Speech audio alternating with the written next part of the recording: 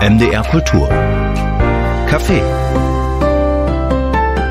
Das MDR Kulturcafé an diesem Sonntag mit Johannes Petzold und mit, das kann man nicht so oft sagen, aber diesmal auf jeden Fall, den braucht man eigentlich nicht vorstellen, denn mir gegenüber sitzt Marius Müller-Westernhagen. Hallo. Sind Sie sich da sicher? Ja. Hallo. Ich denke schon. Also wenn es um 11 Millionen oder 17 Millionen verkaufte Platten geht, ich weiß gar nicht die genaue Zahl und lese Die sie genaue einmal so Zahl, so. es wurde jetzt recherchiert, von, auf, aufgrund dieses Albums sind effektiv 17 Millionen, ja. 17 Millionen, da kann man davon ausgehen, dass der eine oder andere sie kennt. Und jetzt haben wir im Vorfeld überlegt, sagen wir sie oder du. Und da der 75-Jährige so ein bisschen älter ist, können Sie mir gerade mal das Du anbieten? Gerne. Es macht's leichter und es macht's auch intimer, habe ich festgestellt. Ich denke auch. Also Es nimmt Marius, so Distanz weg, was manchmal in manchen Geschichten gut ist, Ja. eine gewisse Distanz zu halten. Aber in einem Gespräch finde ich es immer wärmer und, und äh, ergebnisreicher, wenn man das Du benutzt, ja. Marius, ich bin Johannes. Grüß dich. Und äh, wir treffen uns zum Kaffeekränzchen kurz vor dem Geburtstag. Wir haben einen ganz aktuellen Anlass. Marius ist ein äh, Nikolaus. Geburtstag am 6. Dezember. Ja. Und diesmal aber wirklich rund 75-jährig. Und auf dem Gabentisch für die ganzen Marius Müller-Westernhagen-Fans, die jetzt alle zuhören, ist ein Album zum 75. mit 75 Songs. Obwohl Ähm, die ja keinen Geburtstag haben. da weiß man nicht. Der eine oder andere schon. Vielleicht, ja, Der genau. eine oder andere schon. Da ist es dann so ein doppeltes Geburtstagsgeschenk. Meine Frage ist, wer ist auf die Idee gekommen, 75 Songs Jahr für Jahr da drauf zu packen? Das ist ja erstmal großartige Idee und zeigt auch, ich gehe mit meinem Geburtstag noch so ein bisschen andersrum. Wer hatte die Idee? Die Idee hatte äh, Warner Brothers, mit denen ich ja über 30 Jahre verbracht habe. Und äh, die haben dann auch eine Kooperation zustande gekriegt mit Sony und mit Universal, was mich erstaunt hat, aber auch sehr berührt hat. Und die haben angerufen, haben mir angerufen und gesagt, Marius, wir würden gerne deine, deine Karriere dokumentieren bis hierhin, weil ich bin ja auch noch mittendrin. Und dann äh, war ich erstaunt, dass Leute sich die Mühe machen, weil für mich ist es halt Vergangenheit auch. Alles, was, was hinter mir liegt, damit befasse ich mich dann auch nicht mehr. Manchmal schmerzhaft, weil man macht natürlich Fehler, auch äh, zwischenmenschlich Fehler, die man dann später in der Entwicklung bereut, aber man kann sie auch nicht mehr ändern. Man kann nur daraus lernen, reflektieren und lernen. Und die haben sich dann die Mühe gemacht. Äh, es bot sich an, natürlich der 75. Geburtstag und äh, entstand die Idee, das dann auch äh, 75 Songs zu machen. Man hätte auch 100 machen können, 120. Mich, mich hat wirklich Naja, da ist ja noch ein Geburtstag übrig, wo ihr das dann machen könnt bin zum 100. erstaunt, äh, äh, dass überhaupt ich so viel in meinem Leben gearbeitet habe, weil ich bin eigentlich halt mich für sehr faulen Menschen, aber anscheinend habe ich ja doch viel gearbeitet und auch viele Songs geschrieben. Und sie haben es dann zusammengestellt. Das hätte ich nicht gemacht, weil mein Geschmack auch oft anders ist Hm. als äh, als der des des des äh, Konsumenten. Das ist aber auch ganz normal. Und ich habe auch heute den Abstand, die Dinge, die ich halt, die ich wahrscheinlich nicht so gut finde, auch dann zu akzeptieren und auch zu akzeptieren als als Teil der Historie und denken, okay, das, äh, das gehört da rein und das muss da rein. Und das kann man auch jetzt nicht äh, aufgrund dessen das Stück, das was irgendwie kein Mensch gut fand, nur du, ersetzen.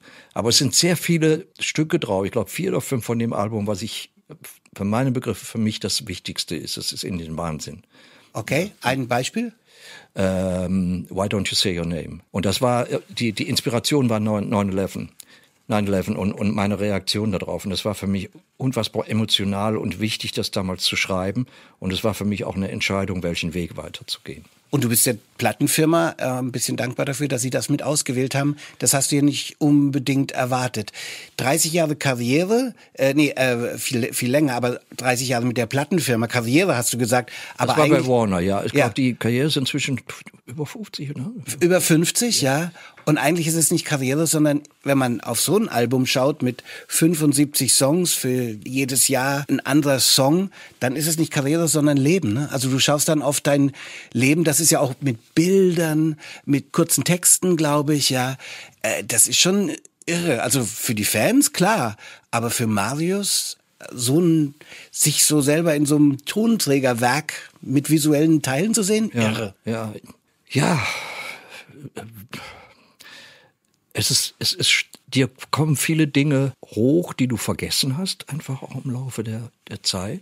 Und es kommen Dinge, wo du dich fragst, warum hast du das gemacht? Mhm. Das ist klar. Aber es kommen halt auch Dinge, wo, du, wo man denkt, das ist gar nicht schlecht. Auch in der Nachbetrachtung gar nicht schlecht. Und wenn du dich dann, und das musst du ja, du musst ja dann wieder befassen, weil ich höre meinen alten Kram nie. Es geht, geht, es ist für mich Vergangenheit. Und ich höre es auch zu Hause meine Musik nicht. Nur wenn ich äh, auf Tour gehe, muss ich mich mit dem Songmaterial ja. beschäftigen. Aber ansonsten finde ich auch oft, gerade bei Filmaufnahmen oder Bildern, finde ich dann nicht mehr, ist die Person von mir vollkommen abgelöst, die, die ich damals war. Hm. Die kenne ich nicht mehr. Und das, das ist eine, äh, ist eine erstaunliche Erkenntnis. Ist es also ein Entfremdungsprozess, der unangenehm sein kann? Oder ist es einfach so, man schaut, ich kenne die Person gar nicht mehr und dann gibt es vielleicht wieder eine Annäherung durch dieses Album? Ja, ich hatte damals auch schon das Glück. Es gab ja mal eine Zeit, wo die ganzen Städte zugepflastert waren mit den Plakaten und so. Und ich habe immer einen Abstand dazu gehabt, mhm. weil ich immer wusste, was, was ich künstlerisch mache, ist wie eine, wie eine Art äh, die Funktion des Mediums. Und dann gibt's den, den, äh, den, den, der ich privat bin. Die sind vollkommen konträr von, von, von einem. Und das ist aber bei fast allen Künstlern, die ich kenne, ist das der Fall. Ich mag zum Beispiel nicht im Mittelpunkt stehen. Oder ich habe gerne meine Privatsphäre, würde ich auch nie hergeben. Mhm. Und auch meine Freiheiten. Auch zu der schlimmen Zeit bin ich immer noch irgendwo hin und habe was gegessen oder so, weil ich gesagt, das kann mir kein Mensch bezahlen. Das kann mir kein, und es gibt so viele Beispiele, wie viele Menschen daran äh, kaputt gegangen sind. Weil sobald du jemand bist, der sich dann, mit dem sich dann Geld machen lässt, Profit machen lässt, in dem Augenblick, wenn du nicht aufpasst, wirst du zum Opfer. Und das, es gibt so viele Dokumentationen über, äh, in, in, wenn, wenn man heute zum Beispiel interessant, ich streife nur den Fußball, aber David Beckham, was dieser Mann aushalten musste. Mhm, weil er einmal das Bein gehummert, was nicht sehr clever war in diesem Nein, Spiel. Nein, natürlich nicht, aber man muss ja auch immer das Alter berücksichtigen. Man beschimpft doch heute immer so junge Leute und sagt, ah, dieser Idiot, dieser... Erfahrung kann man nicht trainieren. Einer der hm. genialen Sätze von Thomas Tuchel. Und es ist auch so. Da geht so weit zurück mit diesem Album und da entdeckt Marius auch eine Person, die er vielleicht gar nicht mehr kennt, obwohl er das selber ist. Äh, zum Beispiel fängt das ja an mit dem Song dieses Album Wir waren noch Kinder. Das ist ja ein ganz anderer Sound. Kürzlich hat äh, Max Herre so eine Compilation rausgebracht mit DDR Soul und Funk. So klingt das so ein bisschen, ja. ja. Das ist ganz weit her. Oder Marion aus Pinneberg würde heute als Schlager durchgehen. Ne? Ist eine ganz andere Geschichte. Ja, weil es das falsche Tempo hat. es ist viel zu schnell. Das hörst du natürlich mit der Erfahrung immer mehr. Da hat sich viel geändert und auch man hat heute, und das da sage ich auch immer jungen Musikern, seid vorsichtig mit den im Augenblick gefeatured und, und aktuellen Sounds. Es gab eine Zeit, wo man immer diese große elektronische Snare genommen hat. Auch sehr erfolgreich. Whitney Houston. Buff! Ja. Und heute, wenn ich das höre, könnte ich heute kotzen. Ja. Um ehrlich zu sein. Saxophon-Soli der 80er Jahre aus der Popmusik. Oh, ja. Geht gar nicht. So, und das geht einfach dann auch nicht mehr. Aber da musst du dich dann mitentwickeln. Das ist, ist ganz wichtig da, also deins behalten, dein, ja. deine, deine, äh, deinen Boden behalten, aber auf diesem Boden dann immer wieder sich weiterzuentwickeln. Das ist die Herausforderung und das ist auch das einzig Befriedigende, was du dann hast, wenn du, wenn du denkst, ja, das bin ich, aber das bin ich heute auch. Jetzt, wo du das selber gesagt hast, äh, mit dem Tempo, ich habe einige Lieder beim Wiederhören gefunden, wo ich dachte, ja, die sind ganz schön schnell äh, gespielt. Ob die den Test der Zeit dann halten, auch bei Nena, nur geträumt, ist heute so schnell, das kann man so kaum noch hören, auch wenn es ein Hit ist und auch wenn es was Zeitloses hat. Aber über die ganze Zeit, was dir kaum einer nachmacht, wenn du ins langsame, balladeske gehst und aus dieser Stimme sowas rausholst, wo dann nochmal so, ja, es ist kein Blues oder kein Blue Note Schlenker, aber äh, das ist ein Heimspiel, wenn du Balladen singst. Wenn du die richtig packst, da wird's zeitlos. Das hat mich auch am meisten gepackt. Ja, na, ich habe halt, halt, und da hast du auch, lernst du viel von schwarzen Musikern. Es ist egal, wie schnell ein Tempo ist. Und manchmal brauchst du einfach schnelle Tempi. Aber sie müssen halt immer ausgeschlafen, relaxed sein. Und du darfst dich nicht verführen lassen, zu viele Töne zu spielen, einfach weil du es kannst. Mhm. Sondern es muss erstens immer für den für den Song sein, es muss den Song bedienen. Und äh, da habe ich sehr viel gelernt, auch mit vielen Hörern bei Miles Davis, der immer seine Töne, seine Noten sehr sparsam gebraucht hat. Die hatten aber dann immer so ein Gewicht und eine Bedeutung, dass es dich, oh Gott, ja. Ja. Und das, das muss man lernen, weil am Anfang will man natürlich sich immer zeigen und es ist alles hektisch und hab vorhin gesprochen über Groove. Wenn, wenn ein Groove nicht funktioniert, ist es meistens der Sänger, weil der immer vorne wegläuft. Der ist so aufgeregt, äh, anstatt sich da draufzusetzen. Weil jeder sollte sich immer bemühen, so, so spät wie möglich auf dem Backbeat zu sein. Das war die Qualität von Charlie Watts. Und war das sich Holger Czukay, Gott hab ihn selig, der sagte, ich habe sehr lange immer auf dem Bass Noten gesucht und irgendwann habe ich mich darauf spezialisiert, sie zu finden. Ich glaube, das war so ein Statement, weniger ist mehr. Ja, also die Ja, ja, richtige klar. finden und das geht ja auch in die Miles Davis Richtung, wie du gesagt hast. Vor dem Musiker Marius Müller-Westernhagen, der jetzt auf diesem Album so in seiner 75-Jährigkeit da eben bebildert wird, gab es ja den äh, Schauspieler. Man würde immer denken, jo, vom Wechsel einem zum anderen ging das ab, aber das äh, du hattest, äh, musstest richtig durchhalten. Vor dem Pfefferminz-Album gab es zwei, die sind überhaupt nicht in die Charts gegangen, Alben. Ne? Also da, da musstest du schon vom Erfolg der Schauspielzeit sagen, nee, ich will das, ich mach das. Na, ich musste vor allen Dingen Kontrolle erlangen, weil ich war natürlich am Anfang total überwältigt, weil man sich nie hat vorstellen können, ins Studio zu kommen, dass sich jemand überhaupt dafür interessiert. Und äh, das erste Album war ja, äh, man sagte damals Achtungserfolg. Es gab die Leute, die machten das ernsthaft, galten als ernsthafte. Und dann gab es den Schlager und äh, beide Seiten hatten ja gar keine Verbindung zueinander. Und man hat sich auch gehasst, da richtig gehend, was eigentlich gut war. Und äh, aber ich hat die Kontrolle war halt da. Ich bekam Lucifer's Friend und ich hatte noch nicht die Kontrolle. Und es war auch nicht das, was ich als Sänger gemacht hatte vorher. Ich habe in einer Band gespielt, in einer Bluesband gespielt, in einer Soulband gesungen. Und dann bin ich Auch Englisch, ne? Zuerst. ja, und dann bin ich damals zu dem äh, Sigi Loch, zu dem Präsidenten von Warner damals hingegangen und habe gesagt, entweder jetzt Legendäre Person. ja, endlich jetzt. Du schreibst mir jetzt sofort einen Schrieb und sagst, ich habe totale künstlerische Freiheit, weil so kann ich nicht leben, dass immer deine Leute sich einmischen und sagen, ja, hier zum Beispiel Taximann ist kein Wort, das gibt es nicht. Ich sage, das kommt für mich nicht mehr in Frage, da mache ich nicht mehr mit. Konnte das, weil ich als Schauspieler auch gut beschäftigt war damals schon. Und er hat das komischerweise gemacht, weil er wahrscheinlich gedacht hat, der ist so wahnsinnig, da steckt vielleicht was dahinter. Und er hat es ja auch nicht bereut. Ich habe übrigens mit Chukai und Jackie und mit all diesen Leuten und mit Irmin, ich habe mit all diesen Leuten Verbindung und gehabt. Ja. Holger ist ja leider tot. Und da auch viel gelernt. Und dann erzähle ich jetzt nur zwischendurch eine ganz kleine Geschichte, Okay. weil Jackie immer zu Holger gesagt hat, wenn du nicht aufhörst, dein scheiß Bass, was ja gar kein Instrument ist, auf meine Bassdrum zu spielen, dann bringe ich dich um. Das ist Ja, großartig. Ja.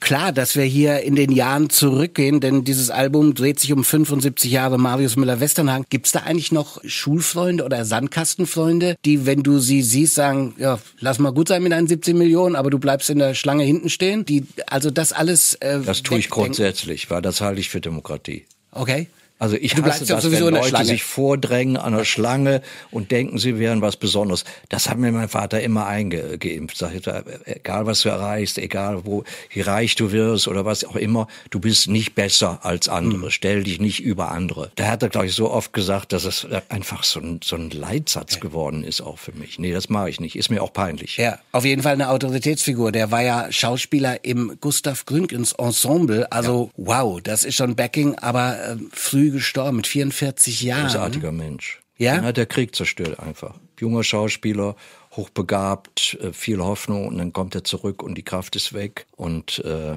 hat sehr getrunken. Also mein Vater war Alkoholiker. Ja. Hat er dir Sachen mit auf den Weg gegeben? Ja, also er hat, er hat mir Werte vermittelt und ganz, ganz besondere Sachen und auch dieses Gefühl, es gibt Dinge, die macht man einfach nicht. Und ich glaube, das ist aber auch in, in, in älteren Generationen ist das so. Sagt, er, Das kannst du nicht. Das ist ein, ein Schweinerei-Move. Don't.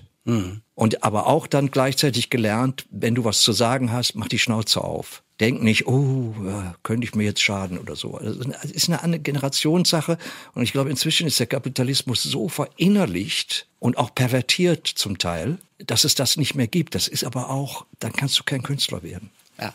Da bleiben aber Sachen übrig. Äh, ich bin da auch immer noch im Austausch mit meiner Mutter, Gott hab sie selig, eigentlich täglich mit ihren vielen Sprüchen, Redewendungen, die damals keinen großen Sinn ergaben. Und die jetzt Sinn ergeben. Ja, ja. Das ist bei mir mit eigenen Texten so, die ich also eigentlich beim Schreiben inte- intellektuell gar nicht begriffen habe. Und dann viele Jahre später, beim, beim äh, Pfefferminz-Experiment war das so, denke, ach, das war der Grund, wo du einfach mit deinem Unterbewussten arbeitest und es macht dann auf einmal Sinn für dich. Und das macht ja auch Kunst aus.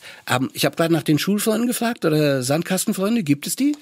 Es gibt der, also der, der letzte, der, mein ältester Freund ist gestorben vor zwei Jahren. Ich habe Verbindung zu meinem ersten Bassisten, den habe ich kennengelernt, da war der 16. Der ist inzwischen ein, ein, sehr erfolgreicher Chirurg, was niemand dachte, weil das war der größte Punk in der Band. er hat die größte Scheiße gebaut und äh, die Mutter hat ihn dann irgendwann aus dem Verkehr gezogen ja. und hat ihm gedacht, ich wäre derjenige, der ihn da hinbringt, weil da war ich immer derjenige, der die Gruppen zusammengehalten hat, der, der geführt hat. Das ist, ist, ist einfach so. Ein guter Basser hat ja auch ruhige Hände. Das geht dann weiter zum Chirurgen. Ich möchte die Möglichkeit nützen, weil 75 Jahre, klar, Rückschau, wo geht's jetzt hin, wo bin ich gerade, wo besser kann man das sehen wie jüngst ah, die Stones und die Beatles. Die einen bringen einen posthum Song raus mit künstlicher Intelligenz, aber viele weinen, wenn sie das hören. Die anderen bringen nochmal ein Album raus. Und wer ist besser gealtert? beide verschiedene Ansätze. Ich habe vor vielen Jahren mal gesagt, also ich verstehe das nicht. Wenn ich mal 50 bin und so, da hüpfe ich nicht mehr auf der Bühne rum. und wenn du sie gesehen hast, jetzt erstmal spielen sie viel besser, obwohl mir Charlie extrem fehlt, weil es ist mir fast zu korrekt. Weil, weil es war immer sloppy.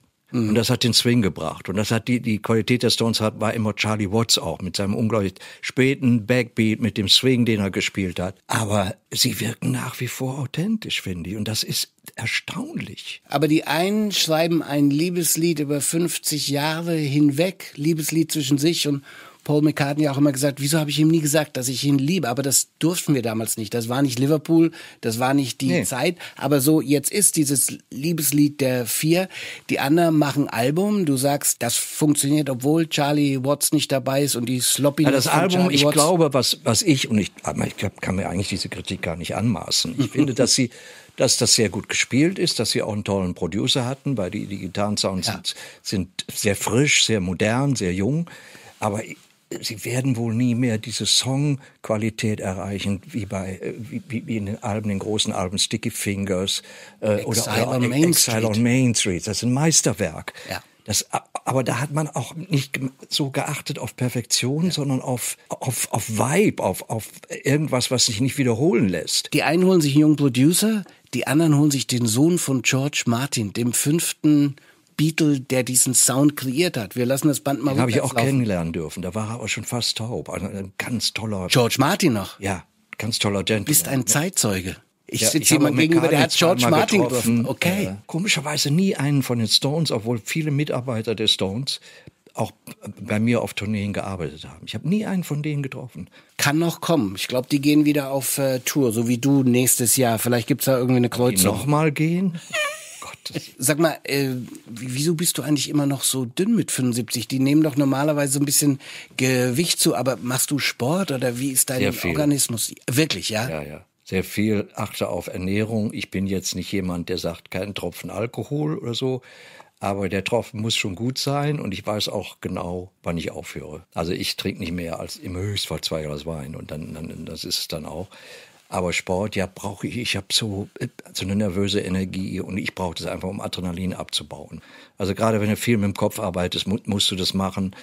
Und ich mache es auch mit Freude. Ich bin, also.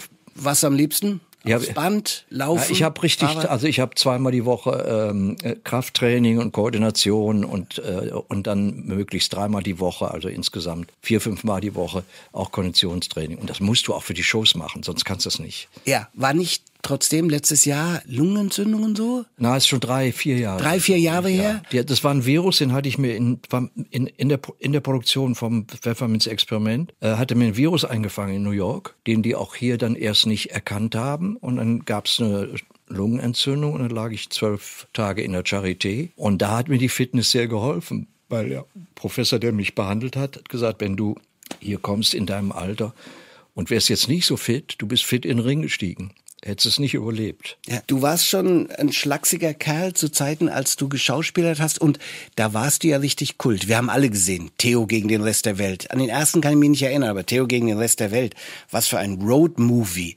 Und der riesige Erfolg damit, dann musstest du kämpfen, um Musiker zu werden, mindestens zwei Platten lang.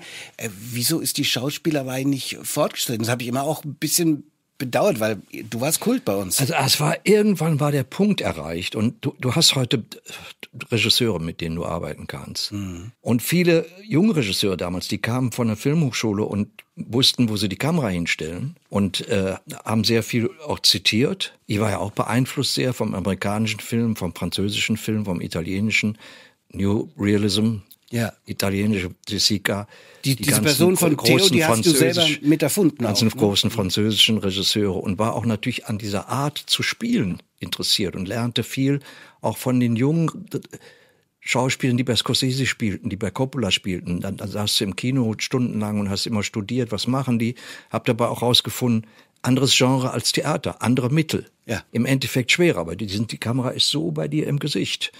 Und wichtig ist, was passiert dahinter, was passiert hier, was passiert im Bauch und nicht deine Mimik. Und es kam der Punkt, wo ich dachte, ich werde so wie das Umfeld ist und du hast als Schauspieler so wenig Einfluss. Und du merkst, wenn du eine Erfahrung hast, merkst du nach einer Woche Drehzeit, das wird nichts. Weil ich immer das Gesamte gesehen habe. Ich habe schon als junger Mensch mit 17 Ostern von Strindberg und dann hat mir der Regisseur gesagt, du denkst nicht wie ein Schauspieler, du denkst wie ein Regisseur. Mhm. Habe mich aber nie getraut, das anzunehmen, weil ich fand, fand, diese Verantwortung unheimlich groß als Regisseur. Ich würde ja denken, mit dem Erfolg heute, auch viele deiner Fans werden das denken, du bist ein Mann, der von Anfang an mit großem Selbstvertrauen durchs Leben nee. ging und sagst, das hast du äh, nicht. Wo hast du dich denn sicherer gefühlt? Ähm, bei der Schauspielerei, die zuerst war, oder bei der Musik? Wo war ich klar, da, ich bin mehr ich, ja, es ging um, um äh, ich wusste, dass ich das tun musste. Äh, ich finde, das ist, ist auch äh, die Voraussetzung, dass du einfach sagst, ich, ich muss das machen. Und habe mir sehr viel versaut durch, durch Ängstlichkeit, auch immer den Gedanken, du bist nicht gut genug. Und irgendwann finden sie es alle raus. Was mir einen richtigen Schub gegeben hat an Selbstbewusstsein, ist sicher die Erfahrung auch, dass, dass du älter wirst und mehr Distanz bekommst auch zu dir selbst. Aber als ich so gerne mit amerikanischen Musikern zusammenspielen wollte und weil das mich halt geprägt hat und ich bin damit groß geworden. Ich hatte keine andere Musik, ich hatte da keine andere Identität als das und das habe ich gefühlt und habe dann versucht, diese, an diese Musiker zu kommen und spielte schon damals mit, mit Kevin Benz zusammen und er sagt, ja, den finde ich gut und den, sagt er, ja, aber die die kommen nie einfach ins Studio, die musst du überzeugen. Also du musst Demos machen. Und wie die mich dann aufgenommen haben als einen der ihren und mich voll respektiert und akzeptiert haben, das, das hat einen unglaublichen Boost gegeben, sagt, so schlecht kannst du nicht sein. Und es hat natürlich auch nochmal den Antrieb gekriegt, Jesus Christ, die sind so gut, die müssen gar nichts mehr beweisen. Hm. Äh, hier musst du die Arschbacken zusammenkneifen und dich an dem Niveau orientieren. Und das habe ich gelernt, auch bei der Schauspielerei, je besser dein Konterpart ist, je mehr Leistung wirst du auch bringen. Lass uns äh, leben. leben. Ich sagen, es ist einer meiner Oldtime-Favoriten und die Geschichte dazu, du stehst auf der Bühne, war das so und sagst, ich hoffe, heute Abend wird hier viel gebumst nach dem Konzert. Was hat dich denn da getrieben? Das war Rock am Ring oder so? Ich weiß überhaupt nicht, was mich auf der Bühne treibt. Das passiert einfach. Okay, nach der Ansage kam ich Lass uns leben. Wahnsinnig, wie Leute sich an so Sprüche erinnern. Da wird es ganz, ganz viele geben, ehrlich gesagt. Lass uns über noch einen anderen äh, wichtigen Marius Müller-Westernhagen-Song sprechen, nämlich äh, Freiheit. Der ist jetzt natürlich oft zitiert worden. Und mir fiel so ein bisschen auf, sag, ob ich da auf der richtigen Fährte bin, dass der auch sehr oft missverstanden wurde. So ein bisschen wie Born in the USA von Bruce Springsteen. Der wurde dann überall für Parteien eingesetzt. Dabei ist der sehr ja, kritisch. Und bei Freiheit habe ich dann auch noch mal geschaut. Da heißt es ja, sollen tanzen auch auf Gräbern. Ja, das war ja, glaube ich, was den Song überhaupt inspiriert hat. Ja. Und äh, sollen Feiern nicht versäumen. Genau. Die Freiheit, gerade wenn es um auf Gräbern tanzen geht, das ist noch mal etwas, was man bedenken muss. Nicht nur einfach nur Freiheit, yo, alles klar. Das ist durchaus so ein Hin und Her auch in dem Ja, es war ja auch ein Infragestellen. Und ich bin ja auch heute der Meinung, äh, dass Freiheit ist natürlich eine, eine Illusion, weil keine Gesellschaft, keine Gruppe, nicht mal eine, eine Ehe funktioniert ohne Regeln. Und deshalb ist es, es ist einfach eine Illusion, wunderschöne Illusion, genauso wie Sicherheit ist auch eine Illusion. Haben wir uns ja bis 9-11 alle eingebildet, dass ja. wir hier sicher sind. Der Song hatte ja am Anfang hat er überhaupt keine Beachtung gefunden. Und dann Jahre später ging er in diese Richtung, Gott sei Dank, weil du lässt diese Songs raus, die nehmen ihr Eigenleben an. Leute interpretieren sie je nach äh, je nach Gefühl und je nach Einstellung. Da hast du keinen Einfluss drauf. Das ist auch das Risiko. Und er ist in eine Richtung gegangen, die für mich natürlich angenehm war und die mich auch immer später aus Erzählungen, was, was es den Leuten bedeutet hat im Osten, sehr, sehr gerührt hat. Und dann gab es auf einmal halt eine Gruppe, die ihn sich genommen habe. Auch da hast du keinen Einfluss. Aber mhm. ich glaube, ich habe mir ganz gut zurückgeholt. Ja, da, genau, das wollte ich sagen. Also es ging um die Impfgegner, ne, die dies als Freiheit, äh, ja. das eben nicht zu tun, interpretiert haben. Und anstatt in den Ring zu steigen und äh, bei Markus Lanz aufzutauchen, ich Ach, weiß nicht, ob der da schon war, dann äh, hast du ein äh, Foto gepostet, wo du geimpft wirst und da stand Freiheit. Ja, und das ist großartig den Diskurs wieder. Das ist Freiheit. Ich habe ich habe die Chance zu entscheiden, was ja heute anscheinend nicht mehr der Fall ist, weil die Positionen sind so radikal und so festgefahren und man, äh, es geht nur noch um äh, Gewinner und Verlierer. Mhm. Aber da, das ist nicht Politik. Für mich ist Politik Kompromiss. Etwas finden, wo beide gegensätzlichen Parteien einen Weg finden, wo sie beide mit leben können. Und das wird gar nicht mehr wahrgenommen, sondern es ist einfach nur Hysterie und feste Position. Und da bewegt sich nichts mehr. Das hat auch nichts mit Demokratie zu tun oder so. Und, und, die Drecksäcke sitzen auch immer auf beiden Seiten. Und, es, ja. und sie, sie repräsentieren auch nie die Mehrheit sondern die Mehrheit der Leute will seine Ruhe haben, will genug Kohle zu äh, verdienen, um essen und trinken zu können und, und schlafen zu können.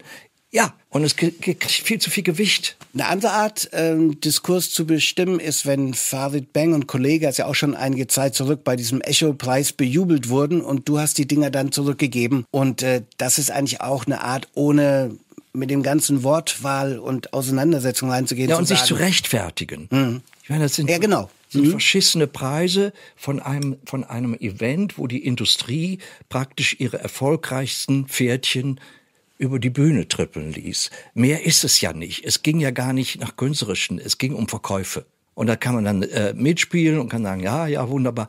Aber das war mir einfach, es gibt auch da, ich bin für absolute Freiheit in der Kunst, aber es gibt da auch geschmackliche Grenzen, die man nicht überschreitet.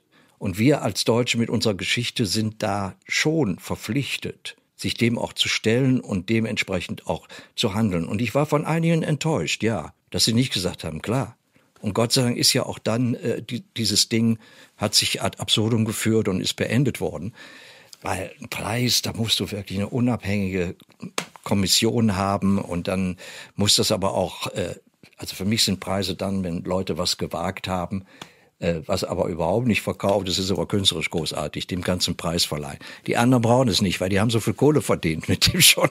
Die brauchen keinen Preis. Ich denke, bei diesem Album 75, da ist natürlich auch der Song Dicke dabei, ja, und du bist ja der dünne Hering, der du auch wirklich äh, bist. Und so ein Song, könnte der heute noch so geschrieben werden in Zeiten der politischen Korrektness? Also ich denke an Raoul Dahl, den britischen Schriftsteller, der schreibt von einem fetten Gegenüber und dann wird das vom Verlag geändert und heißt dann eine umfangreiche Person. Das finde ich unmöglich, weil es ist, es ist zeitbedingt.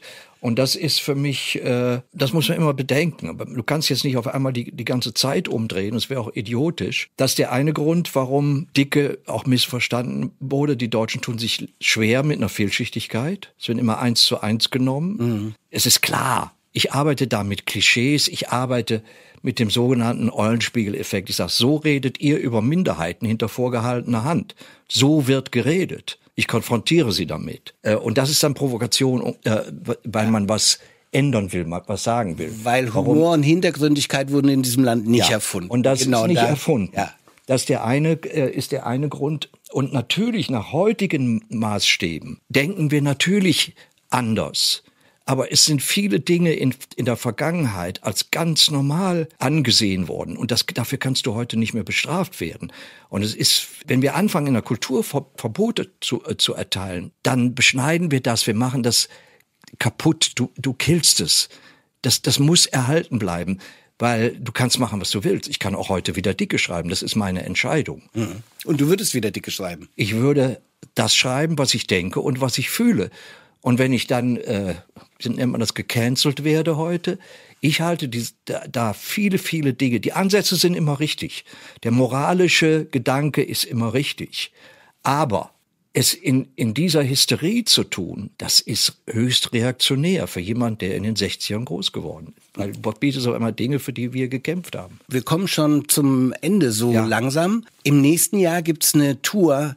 Muss ein 75-Jähriger noch sieben mega große Konzerte in einen Monat packen? Was treibt dich? Ich weiß es auch nicht. Hätte man auch auf drei Monate machen können und jeden Monat drei oder so. Also Nee, das wäre du- nicht zu Du finanzieren. kommst nach Leipzig. Das wäre nicht zu finanzieren. Ah, Das okay. ist das Problem. Du, äh, du bist, wenn du heutzutage von einem Promoter verlangst, du willst drei Wochen proben, erklärt er dich für verrückt. Und das ist einfach so, du musst damit leben. Ich hatte einfach das Gefühl, ich hatte einfach Lust zu spielen und auch laut zu sein. Ich glaube, die Zeit verlangt das. Ich werde jetzt äh, nicht da mich auf den Stuhl setzen und unplugged machen. Und ich habe keinen Druck mehr. Ich muss ja keinem was beweisen. Und das ist schön. Da bist du wie, wie eine Amateurband. Du freust dich einfach, abends auf die Bühne zu gehen. Und natürlich wird es anstrengend, aber ich bereite mich so gut es irgendwie geht darauf vor. Und äh, wir mal sehen. Die Tochter Mimi, mit der hast du ja schon öfter zusammen gesungen, aller Vaterstolz, dass die Musik in die nächste Generation geht.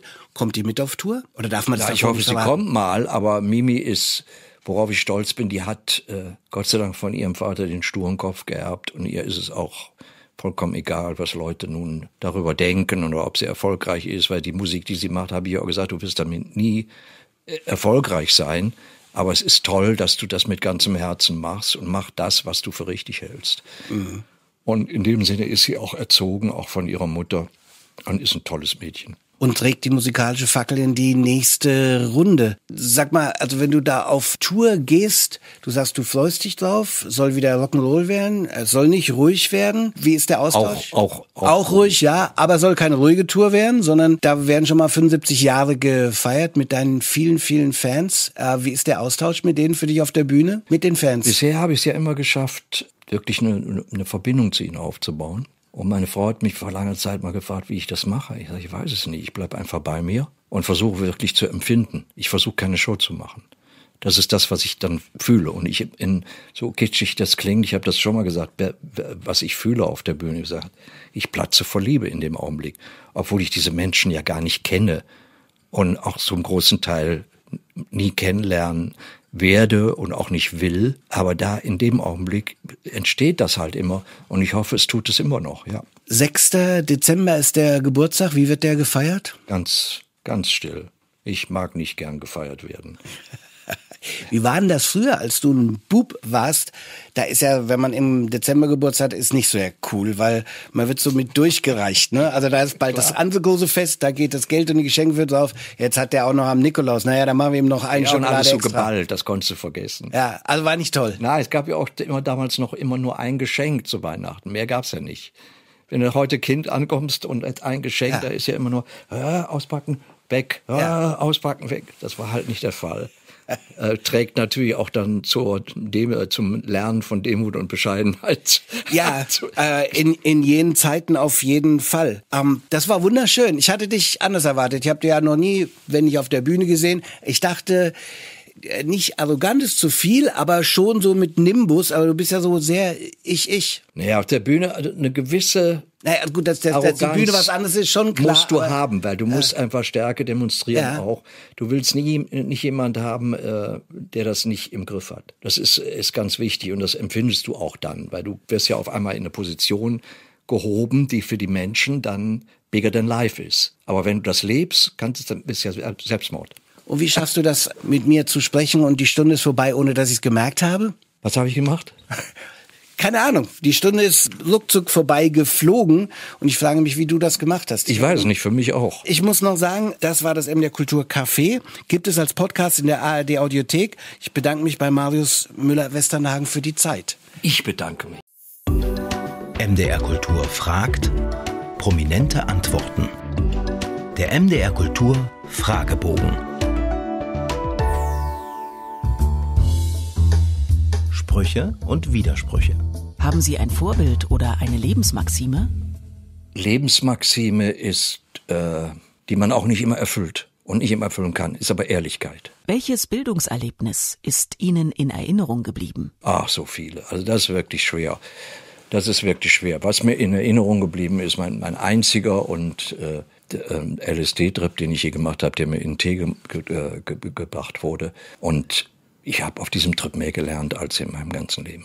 Also ich habe zum Beispiel auf diesem Trip meine, meine ganzen Ideale, meine Vorstellungen von Leben, meine, meine Vorstellungen von, von allem als Haus gesehen, was dann zusammenbrach. Und was mich das aber auch gelehrt hat, dass ich versucht habe, mein Leben nicht auf, auf Dinge auf, äh, aufzubauen, die vergänglich sind, wie, äh, wie Geld, wie Ruhm. Weil das sind Dinge, die irgendwann kommen und dann auch wieder vergehen. Worüber können Sie nicht lachen? Da kann ich nicht lachen. Also ich kann vor allen Dingen nicht lachen über äh, politische Korrektness. Na, das sehen wir heute jeden Tag. Es ist, es ist einfach nur verlogen und das finde ich nicht gut. Sein und haben. Welches Buch würden Sie niemals weggeben? Mein, einer meiner absoluten Lieblingsromane ist Middlesex. Das ist, ach oh Gott, oh, ich bin so schlecht mit dann und Autorennamen. Aber es gibt so viele auch, die, äh, also äh, im Grunde, ich bin ein riesen Philip Roth-Fan. Ich habe da von ihm alle Bücher gelesen und es gibt kein schlechtes. Wann fühlen Sie sich am lebendigsten? Ich hoffe jetzt. Gott und die Welt. Woran glauben Sie? Ich glaube in aller Naivität immer noch an das Gute im Menschen und will immer versuchen, mein Vertrauen nicht zu verlieren in Menschen. Gibt es für Sie einen Ort des Friedens? Oh ja. Und der, der liegt in mir. Der liegt in dir drin. Was meinen Sie, war Ihre letzte gute Tat? Ich mag nicht gerne äh, mit sowas eitel umgehen. Ich mag nicht gerne eitel umgehen mit solchen Dingen. Und es ist durch Eitelkeit motiviert, wenn du von dir selbst behauptest, du hast eine gute Tat getan. Das tut man einfach. Freud und Leid. Wovon haben Sie zuletzt geträumt? Ich behalte meine Träume nicht. Es ist ganz, ganz schrecklich. Ich träume zwar und ich weiß, dass ich träume, aber ich habe, meine Frau kann Träume erzählen, die gehen 20 Minuten und denke mal, wie ist das möglich? Ich behalte die nicht. Welche Musik berührt Sie am tiefsten? Vieles in der Klassik, im, im Jazz unglaublich. Immer, immer die Musik, die, die in mir Imagination und Gefühl hervorruft. Was finden Sie schwerer? Anfangen oder aufhören? Das eine beinhaltet das andere und darüber muss man sich im Klaren sein. Alle unsere Podcasts finden Sie zum Abonnieren unter mdrkultur.de. Ein ganz besonderer Tag heute für die Fans von Marius Müller-Westernhagen. Der Schauspieler, vor allem auch erfolgreiche Musiker, wird ja in ein paar Tagen 75. Und heute gibt's schon das Geburtstagsgeschenk für ihn und für die Fans. Eine Song Collection, nämlich 75 Songs und darüber wollen wir reden. Mit wem? Mit dem Meister persönlich, Marius Müller-Westernhagen. Guten Morgen. Wo kommt eigentlich dieses Meister her? Guten Morgen. Passt es nicht? Ich, da kommen immer wieder Leute und die nennen mich immer wieder Meister. Das ist sehr irritierend. Es hat mit meiner Vergangenheit zu tun. Ich finde es so verrückt. Dass wir jetzt endlich mal persönlich miteinander sprechen können, hat ja auch nur lockere, sagen wir mal, 30 Jahre gedauert, nachdem wir damals alle das Westernhagen Live-Album rauf und runter gehört haben. Und deswegen die Frage, was sage ich denn jetzt am besten? Sagen wir Herr Westernhagen, Herr Müller-Westernhagen, Marius oder du, Herr Westernhagen? Was ist denn am liebsten? Das, das ist mir vollkommen egal, weil ich bin ja mit einer Amerikanerin verheiratet. Die duzt auch alle also was soll's. Dann darf ich jetzt Marius sagen. Natürlich. Und du sprichst mit einem traumatisierten Fan übrigens. um Gottes Willen, ist das meine Schuld? Nein, nein, die, die Schuld liegt eher bei mir oder wem auch immer. Aus irgendeinem Grund hatte ich damals, Anfang der 90er muss es gewesen sein, keine Karte für dieses Gelsenkirchen-Konzert. Damals noch das Parkstadion. Ja. Habe ich was verpasst? Ich werde es nie vergessen, als ich da rauskam und es ist nie vorher vor so vielen Menschen gespielt. Und diese Energie, die dann hochkam, war unmenschlich. Also das war schwer, dass du da nicht umfällst und, und du musst es dann halt tragen. Du hast ja mal gesagt, dass dich dieses Gefühl teilweise so umgehauen hat, dass es backstage auch zu Heulkrämpfen gekommen ist. Das war mehr, mehr erlösend als alles andere. Es war nicht Traurigkeit oder so. Es war eine, einfach eine Überlastung. Du bekommst so viel Adrenalin und, und so viel Emotion und, und äh, so viel Energie, dass, dass das als, als Mensch, wenn du es dann aushalten willst, kann das sehr tief gehen, ja. Wir haben bewusst nochmal diese Zeit rausgenommen, damals, als das ja wirklich gigantisch war mit diesen großen Konzerten, weil das gehört eben auch in diese Zeit, über die wir auch sprechen, wenn wir über dieses neue Album gleich sprechen. Das war schon so ein echtes Rockstar-Leben, oder? Ja, man hat es ja damals sogar mit der Beatlemania verglichen und es war verrückt. Ich habe aber immer versucht, mich da doch abzuschotten mir war das immer klar, das ist die Bühne und wenn ich runterkam, bist du noch eine halbe Stunde in diesem Zustand der Madness, der Verrücktheit. Und dann war mir immer klar, dass ich dann wieder der normale Bürger Westernhagen bin. Und wenn du dich heute vorbereitest mit fast 75 auf das Tourleben, was so bevorsteht, ist das jetzt anders als früher? Ja, du musst im Grunde genommen mehr tun. Und natürlich habe ich Respekt vor den Konzerten. Ich weiß, wie anstrengend das ist. Trainingsprogramm läuft schon und Singen läuft auch schon seit einiger Zeit und, und dann abliefern. Wir würden gerne heute Morgen schon mal ein bisschen abliefern, uns einstimmen auf Westernhagen Live. Wir sind ja sehr stolz, dass wir deine Konzerte im Mai und im August kommenden Jahres in Dortmund, in Köln, Mönchengladbach präsentieren dürfen. Wir haben uns extra Freiheit rausgesucht, immer ja noch eine wahre Westernhagen-Hymne, wenn die live gespielt wird, sowieso, um das nochmal klarzustellen. Mit dem Mauerfall damals hat das Ganze nichts zu tun, oder? Nicht beim Schreiben, nein. Du warst auch nicht der, der mit der beleuchteten Lederjacke auf der Mauer gesungen hat, ne? Das wäre mir auch zu viel Pathos gewesen, um ehrlich zu sein.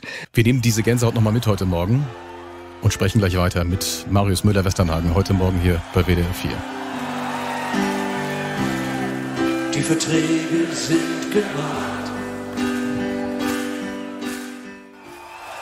Was zum Mitsingen und Feuerzeuge anmachen heute Morgen bei WDR 4. Wir freuen uns sehr, dass wir heute früh mit dem Mann sprechen, der heute ein ganz besonderes Album rausbringt. Marius Müller-Westernhagen. Album ist übertrieben, also untertrieben muss man sagen. Es ist ja eher so eine Art ja, Lebenswerk vielleicht eher, passend zum Geburtstag in ein paar Tagen. 75 wird er. 75 Songs sind da drauf. Das ist eine 8 LP-Box oder eine 5 CD-Box. Marius, wenn wir sagen ein Best-of-Album, dann passt es nicht ganz. Dafür hat die Plattenfirma einfach äh, zu viele Hits draufgepackt.